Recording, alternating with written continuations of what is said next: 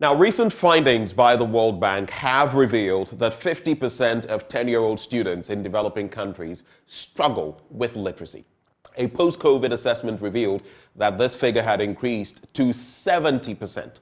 Managing Director of Operations for the World Bank, Anna Bjerde, shared the outcome of this investigation in, on a visit to the new Gbawe Municipal Basic 1 School to assess the progress of the Ghana Accountability for Learning Outcomes project, that is GALOP. There is more in this report. The Ghana Accountability for Learning Outcome Project, GALOP, is an initiative founded by the World Bank. The project supports 10,500 schools nationally. The World Bank Managing Director of Operations, Anna Bjerde, as part of her visit to Ghana, went to the Weija Gbawe Municipal Assembly Basic 1 School, one of the beneficiaries of the GALOP project. She expressed concern about the inability of pupils and students in developing countries to comprehend what they read. So before COVID, we were um, tracking data of 10 year old children to see how many 10 year old children in the world had a difficult time reading a story that was appropriate for their age and understanding it fully. For developing countries, low income and low middle income countries around the world, 57% of those 10 year olds actually had difficulty.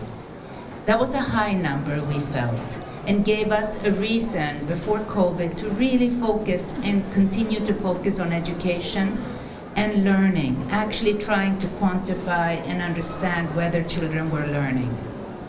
After COVID, we have reassessed that number, and it's not a good outcome. We now put the number at 70%.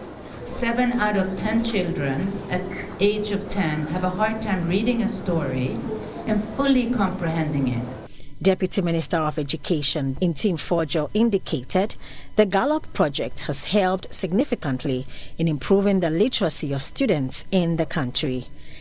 Thanks to the support under GALOP, a number of interventions under the GALOP uh, program was targeted at remediation um, programs post-COVID. So whilst COVID um, took a hit, learning losses were occasioned, but we had some interventions that addressed some remediation. So after that, in the year 2021, in December 2021, we did a national standardized test. The outcome of our national standardized test was that 54% of learners around the age of 10 are able to read proficiently at grade level.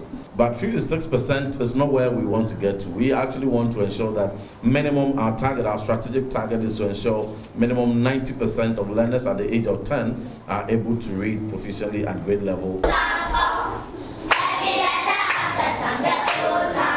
Uh, we saw two classrooms, B2 class and B3 class, and what I saw was a very, very engaged group of students with teachers with just excellent skills to keep the students learning, uh, keep them motivated, building on each other, which was great.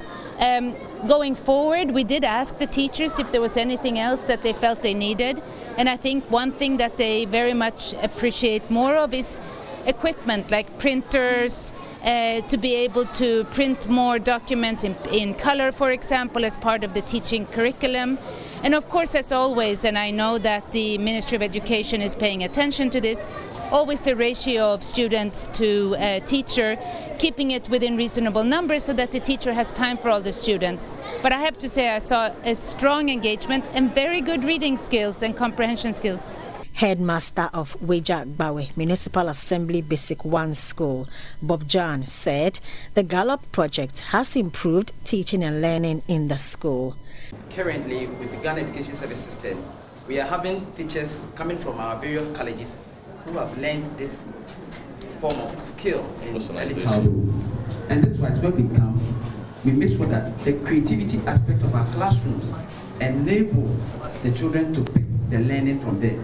At least 2.9 students have benefited from the GALOP project. Esther Nkrumah's report read to you.